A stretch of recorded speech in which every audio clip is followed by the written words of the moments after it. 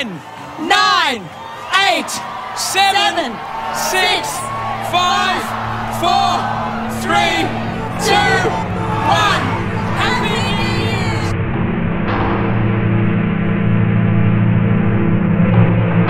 There has been unconfirmed reports that the suspect in the New Year's killings is a cyborg. Countries around the globe are finding hundreds of the same cases involving these machines disguised as humans. This is John Boyle with BBT News. I need you to tell me last thing. We were watching New Year's. Having a party.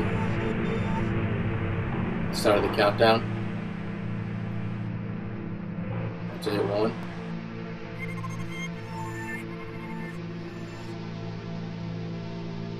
You ready to start a collapse?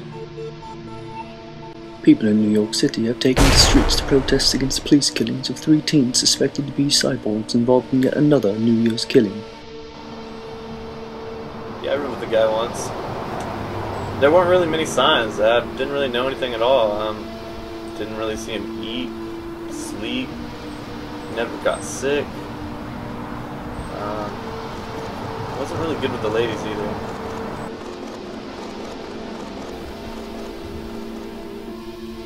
What happened? Twelve people are dead! Tell me what happened! You see, the problem isn't when we have hostile cyborgs. The problem is not knowing who is making them, for what purpose. If you can, if you can imagine your children taught by robots, okay, or your leaders disguised as humans, well, then we have no clue.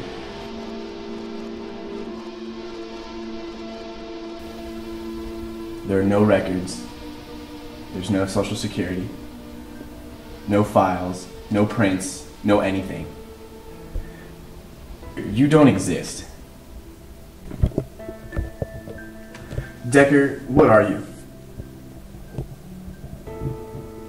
I'm human.